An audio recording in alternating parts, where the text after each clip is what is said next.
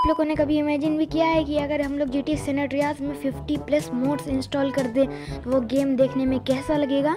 तो आज हम लोग कुछ यही ऐसा ही करने वाले हैं। तो get ready for today's video and let's begin मेरी आप लोगों से एक और रिक्वेस्ट है कि इस वीडियो को थोड़ा सा भी स्किप मत करना, नहीं तो आप लोगों को समझ नहीं आएगा कि कौन कौन से मोड्स मैंने डाले। नहीं तो बहुत लोग बोलेंगे कि मैंने 50 मोड्स नहीं डाले। हैं इसलिए बिल्कुल भी स्किप मत करना। आपकी भी टाइम बर्बाद होगा और मेरी भी मेहनत बर्बाद हो जाएगी, इसलिए प्लीज़ चैनल पर नए हो तो जल्दी सब्सक्राइब कर दो ऐसी ही ढांसू गेमिंग वीडियोस देखने के लिए। और अगर तुम्हारे पास कोई और भी आइडिया है इस टाइप की वीडियो के लिए, इस टाइप की वीडियो के लिए, ये वाली बहुत ज़्यादा डिफ़िकल्ट हो जाती है। इसलिए कोई अगर ईजी आइडिया और बढ़िया तो मुझे प्लीज़ बताओ इन कमेंट सेक्शंस सबसे पहले हमें कुछ स्पेसिफिक एप्लीकेशंस डाउनलोड करने होंगे जिससे हम लोग लेटेस्ट सिनेरियाज को मोड कर सकते हैं। एप्लीकेशंस हैं, जैसे कि Cleo A S I loader ultimate A S I loader and etcetera and ऐसी ही कुछ और एप्लीकेशंस होती है जिन्हें इंस्टॉल करना कंपलसरी है, नहीं तो हम लोग जी टी में मोडिंग नहीं कर सकते।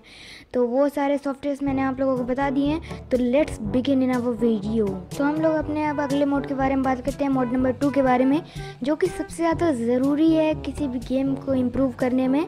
और ये मोड हम लोगों का है ग्राफिक्स मोड जो कि बहुत ज़्यादा ग्राफिक्स को इन्हेंस करने और इम्प्रूव करने के लिए यूज़ किया जाता है। जैसे कि आप लोग बैकग्राउंड में देख सकते हो। तो आज जो ग्राफिक्स मोड हम लोग यूज़ करने वाले हैं उसका नाम है तो ये वाला जो ग्राफिक्स मोड है ये सबसे ज़्यादा अच्छा मोड माना जाता है जी टी इंडियाज के ग्राफिक्स को इम्प्रूव करने के लिए जिसमें इंक्लूडिंग होती है cars road sunlight lightning clouds and बहुत सारी चीज़ें जो कि तुम लोग बैकग्राउंड में देख पा रहे हो। तो अब हम लोग आगे की मोडिंग स्टार्ट करते हैं।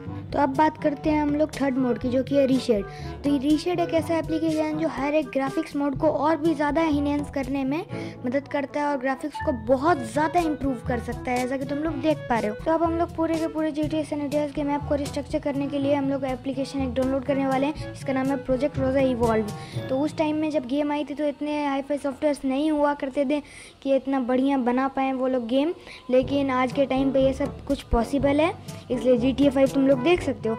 लेकिन उस टाइम के लिए वो वाले ग्राफिक्स भी बहुत अच्छे थे, लेकिन अब वो ब्लरी हमें लगते तो तुम लोग देख सकते हो ये कितना बढ़िया हो जाता है रोज़ा प्रोजेक्ट रिबॉर्न डालने के बाद। और इसके बाद इसकी क्वालिटी बहुत ज़्यादा इन्हेंस हो जाती है। जितने बिल्डिंग्स कैफ़ेज़ ये ट्रैश ये सब बहुत ज़्यादा अच्छे हो जाते हैं। तो ये बहुत अच्छी चीज़ है। तो गाइज़ हम लोगों ने अपना मैप तो ये स्ट्रक्चर कर लिया है, लेकिन जब सीजे फ़र्स्ट मिशन के बाद अपने घर जाता है तो इस टाइम पे इसके घर में सब कुछ ब्रोकन सा लगता है और बहुत ज़्यादा ब्लरी सा लगता है। तो इसको अच्छा करने के लिए मैंने यूज़ किया है सी जे हाउस रिमास्टर्ड तो जैसा कि तुम लोग देख सकते हो, ये बिल्कुल एकदम बढ़िया सा हो गया है और जितने भी टेबल्स हैं सोफ़ाज़ हैं, वो सब बढ़िया हो गए हैं। एंड बाकी बिल्कुल अच्छा थ्री डी टेक्सचर हो गया है। पहले से अच्छा इम्प्रूव हो चुका है, जैसा कि तुम लोग देख सकते हो। एंड सब कुछ बिल्कुल ओरिजिनल लग रहा है। अभी कहीं नॉर्मल रोड्स जो हैं गेम के, वो ज़्यादा ब्लरी और बेकार से लगते हैं। तो उसको इम्प्रूव करने के लिए मैंने यूज़ किया है।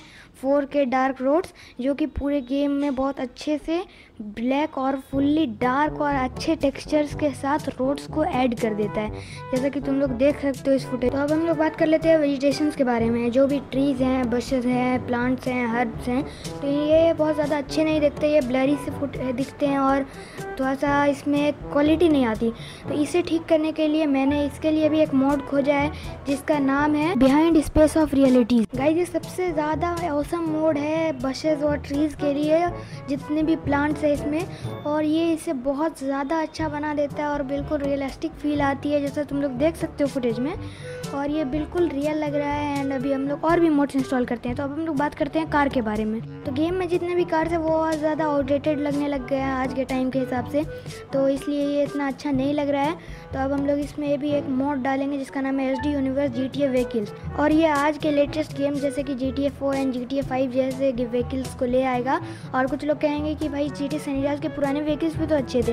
तो ये उनका सिर्फ़ अच्छा वर्जन है इनहेंस्ड वर्जन है, जो कि उन्हें, उनमें शेडर लगा के आपको प्रोवाइड कर रहा है ओके तो जी टी सनटियाज में जब भी हम लोग किसी भी कार को हाईजैक करते हैं तो उसका एनिमेशन बहुत ज़्यादा पुराना हो गया है। तो उसे अच्छा करने के लिए मैंने एक मोड का इस्तेमाल किया है, जिसका नाम है कार हाईजैकिंग एनिमेशन जो कि जी टी फाइव से इंस्पायर्ड है, जैसा कि तुम लोग देख सकते हो। तो ये बहुत ज़्यादा रियलिस्टिक बना देता है। एक और मेजर प्रॉब्लम ये है कि तुम लोग सिर्फ़ राइट और लेफ़्ट साइड ही शूट कर सकते हो अपनी गन से, जब तुम कार के अंदर हो। तो इसको फिक्स करने के लिए मैंने डाउनलोड किया है मैनुअल ड्राइवर मोड ये फुल्ली 360 हम लोगों को शूट करने के लिए प्रोवाइड करता है। तो मैंने बिल्कुल जी टी फाइव जैसे टैक्सी वाला मोड डाउनलोड किया है, जिसका नाम है टैक्सी राइड तो इसमें सिर्फ़ आप लोगों को टैक्सी में बैठना होगा, आपको चलाना नहीं है। फिर आपको जल्दी से अपना मैप खोलना है। और उसमें आपको मार्क करना है लोकेशन की आप कहाँ पे जाना चाहते हो और आपको बस टैक्सी को ऑर्डर देना है और ये बहुत ज़्यादा आसान बना देगा आपकी गेम को और ये बहुत ज़्यादा हेल्पफुल है। तो कई गेम की एआई उतनी अच्छी नहीं है कि ड्राइवर्स अच्छे से ड्राइव करें अपना गेम वाले। तो मतलब इसे अच्छा करने के लिए भी मैंने एक मोड खोजा है। जैसा कि आप लोग देख सकते हो कैसे ठोकते हैं ये लोग। इसलिए इसके लिए मोड है रियल ट्रैफ़िक फिक्स तो इससे तुम लोग देख सकते हो सारी गाड़ी की स्पीड मेंटेन हो जाएगी। ड्राइवर्स को पता होगा कि उन्हें कब टर्न लेना है, कब क्या करना है और इन्हें आइडिया हो जाएगा। और ये मोड बहुत अच्छा है आई थिंक क्योंकि ये मतलब एक्सीडेंट से बचाता है अगर तुम कोई स्टोरी क्रिएट कर रहे हो गेम में तो। अब हमें पूरी गेम में बहुत ज़्यादा स्काई खाली खाली सा लगता है तो उसके लिए भी मैंने एक मोड डाउनलोड किया है एटमोस्फेरिक ट्रैफ़िक जो कि कंटिन्यूसली एरोप्लेन्स हेलीकॉप्टर चॉपर ये सब दिखाते रहेगा, क्योंकि गेम में बहुत कम टाइम दिखाई देते हैं। ये भी कुछ अच्छा ही है मतलब गेम को थोड़ा और रियलिस्टिक बनाने के लिए। ओके जैसा तुम लोग देख सकते हो, यहाँ प्लेन जा रहा है, फिर इधर से स्पॉन हो जाएगा लाइक दिस तो ये आज की वीडियो का तो ये आज की सीरीज़ का फ़र्स्ट पार्ट है और इसके तीन पार्ट और आएँगे। सॉरी टू पार्ट्स और आएँगे, जिसमें मैं इस सीरीज़ को कंप्लीट करूँगा। And stay tune subscribe and press the bell icon for daily videos